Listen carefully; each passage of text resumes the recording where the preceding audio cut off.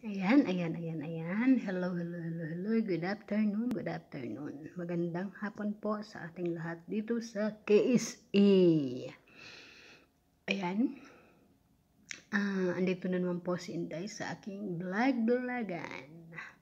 Mm, sa lahat po ng makakapanood ng aking video, paki-like and subscribe po mga ka-Inday. Ah, support po may kaek-ekan. Ito po ang aking stress reliever. Ah, dito po ako humuhugot ng aking lakas.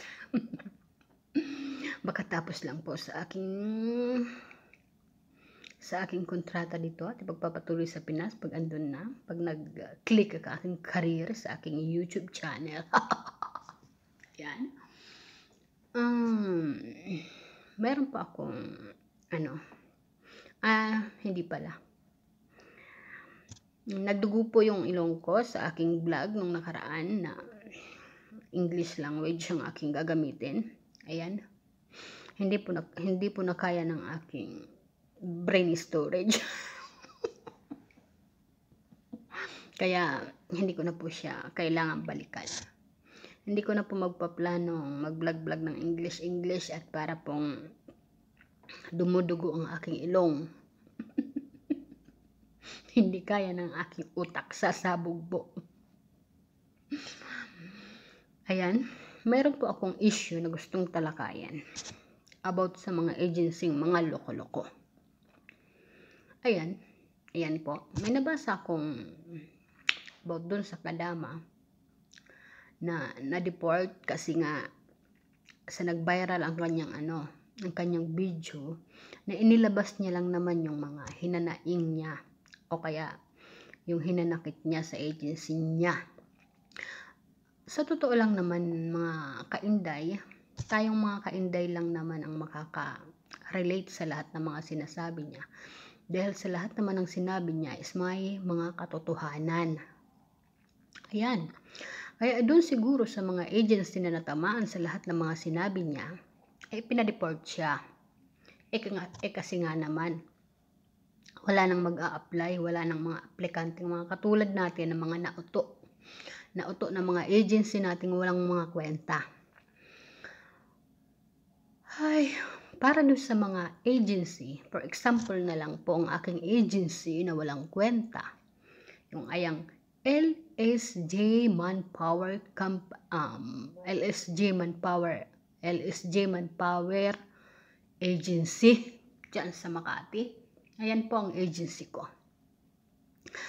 Ang dami ko rin nabasa na post na meron silang mga aplikante na mga pinabayaan. Dumating ng patay na sa Pinas.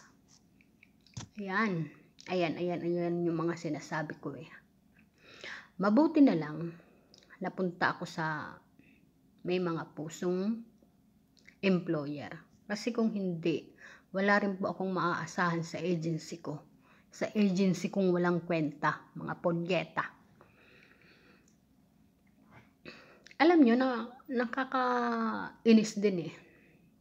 Karamihan pa naman ng mga agency na maraming mga aplikante, eh yung mga agency walang mga kwenta. Walang mga pakialam sa kanilang mga aplikante.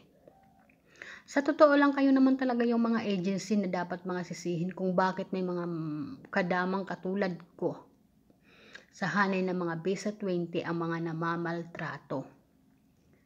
Eh kasi agency, hindi naman lahat ng mga agency. Kasi meron din namang mga matitino. Sa mga hindi lang naman matitinong mga agency. Eh kasi naman agency, unang-una 'di ba? Kayo yung nakakakilala sa mga employer na pagdadalhan nyo ng mga aplikante nyo, ng mga kadama nyo dapat kasi, chine-check nyo yung background. Kung okay ba tong employer na to, wala ba tong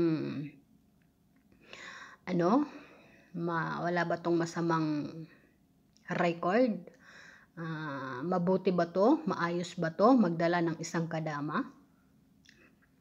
Eh kasi, kung alam nyo namang hindi, wag nyo nang bigyan ng kadama, eh kasi kayo lang din naman ang mamomroblema, di ba?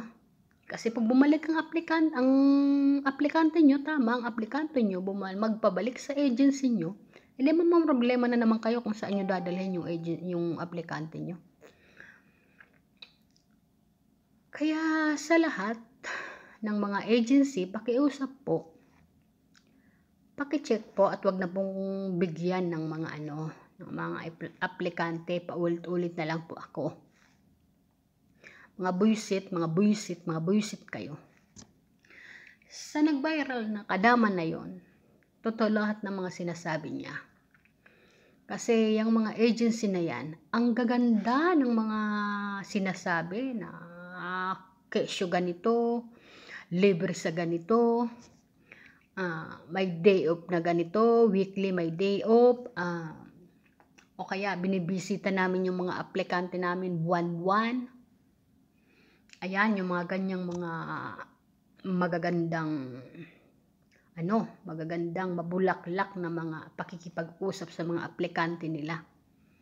'Di ba? Pag nanunuyo ka pa lang ng mga aplikante, lalong-lalo na pala diyan sa mga agent. Sa mga agent na mabubulaklak magsalita para sa mga aplikante. Para makakuha ng isang aplikante, kung ano-ano yung mga pinagsasasabi niyong mga kawalang hiyaan. Mga kawalang hiyaan kasi hindi naman mga totoo. Hmm, ayan. Hindi totoo, unang-una dun, yung may day off. Hmm, may day off. May day off daw. Pero pag napupunta na sa employer nila at hindi na nasunod yung isang kontratang ganito, magrereklamo yung aplikante. O, pag nagreklamo yung aplikante, kung ano-ano na yung sasabihin ng agency. Kesyo ganito, maarte. Kesyo ganito, ano ba gusto mo, trabaho o ano, 'di ba? Kung ano-ano na yung mga pinagsasabi. Pagagalitan na yung aplikante. Ayan naman si aplikante. Eh, kasi nga ayaw niyang mapagalitan, magtitiis. Kahit alam niyang hindi na maganda yung lagay niya, magtitiis pa rin. Kaya, ayan, yung mga ganyang mga agency na yan, sana, sa Pilipinas din, i-check yung may mga agency na mga walang kwenta, yung hindi maganda magpalakad ng kanilang mga aplikante. Hindi yung may mga rec- yung o kaya yung may mga record na na agency na hindi maganda magdala ng kanilang mga aplikante, yung may mga aplikante mga inaabuso, dapat ipasara na yan. Yun dapat ang gawin ng gobyerno sa atin sa Pilipinas. Piliin yung mga agency na matitino. Matitino. Eh kasi nga naman sa Pilipinas, wala nga namang ano, wala nga namang matitinong trabaho katulad namin, katulad ko, isang kadama, isang um, sa Pilipinas, eh magtitiis nga na lang naman ako dito sa abroad kaysa mamasukan ako sa Pilipinas sa na ang baba ng sweldo. Eh di ba kakapit tayo sa Batalim. Mas maganda nga naman dito sa abroad, mas mataas ang sweldo.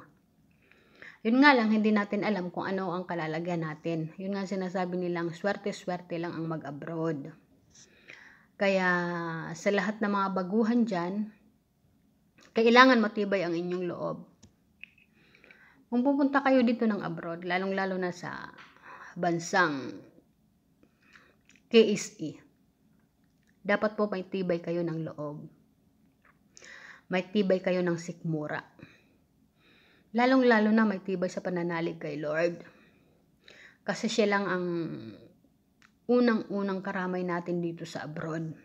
Si Lord lang. Kaya sa mga nag-a-apply papuntang KSE, asahan nyo na po na ang kararatnan nyo is hindi katulad ng Pinas. Iba ho ang iba ho ang ano ba yan? Ano ba yan? Ano ba yan? Hindi ko maano sa utak ko. Iba yung klase ng pamumuhay nila dito ang pamumuhay ng Pinas. Sa Pilipinas is free, uh, demo, democratic tayo. kahit anong gawin natin doon, pwede lang. Basta wag lang labag sa batas natin. Um, pero dito ang daming batas na kailangan mong sundin, na ibang-iba talaga sa Pinas. Kaya, kailangan 100 times mag-isip para doon sa mga mag apply papuntang abroad, lalong-lalo na dito sa KSA. Pag-isipan nyo ng mabuti. Kasi pag andito na kayo, at kung ano man yung maranasan nyo dito, kailangan nating tiisin yun. Tiisin hanggang sa matapos natin ang ating kontrata. Lalo na kung hindi naman tayo sinasaktan o kung homesick lang naman ang kalaban natin, kailangan nating magtiis kasi may kontrata tayong pinirmahan na kailangan tapusin. Pero kung sinasaktan na tayo, kumbaga below the belt na, kailangan yung ipaglaban ang sarili nyo humingi ng tulong sa agency. Pag hindi kayo binigyan pansin ng agency nyong mga walang hiya, humingi ng tulong sa pamilya nyo. Yan ang kailangan nyo agad gawin. Huwag nyo nang patagalin. Kung alam nyo hindi na maganda ang lagay nyo sa employer nyo, huwag nyo nang patagalin. Uh, unang beses pa lang napakitaan na kayo ng hindi maganda, reklamo na kayo agad. Huwag kayong sabihin magtitiis kayo, baka magbago. Hindi. Hindi dapat ganun. Kasi ang tunay na mabait, sa una pa lang mabait na yan. Pero yung nagbabait-baitan, mahahalata mo yan. Kasi sa tingin pa lang at sa kilos, malalaman mo na yan. Kaya para sa ating mga kadama, na okay naman ang ating lagay dito sa napuntahan na, natin, pasalamat tayo kay Lord. Kasi ang daming mga katulad natin na hindi swerte sa pag-abroad. Napakaswerte ko, napakaswerte ko. Salamat.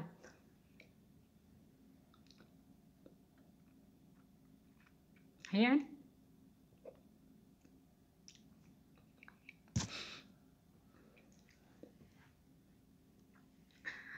Nagdradrama na naman si Inday.